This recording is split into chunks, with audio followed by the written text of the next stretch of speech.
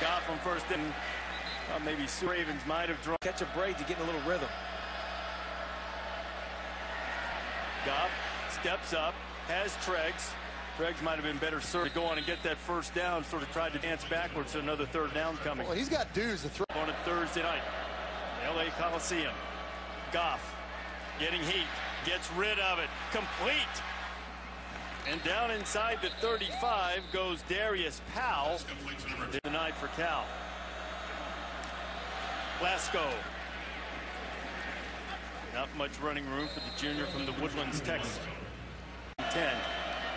Woods back there without the help of Blitz. Cravens coming from the outside, and they did get some pressure this time, and Su'a Cravens the sack.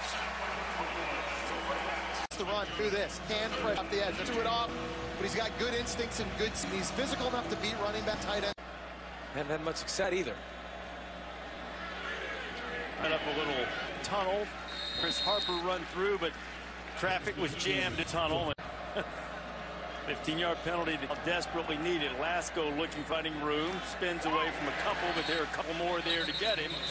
Jeff Bowman was the first one to hit. Motor coming back to the ball and making a big play. And the scouts will tell you sideline to sign Su'a Cravens coming on the heat in the Sure. Foreman coming off the edge on side. This speed and quickness and athleticism knows he's not going to get there to make the sack, bat that ball down. Caller's back is huge. Craven coming to apply some pressure. He's picked up immediately and then fights up a lot from Lasco and forced Goff to throw away. He's a true freshman.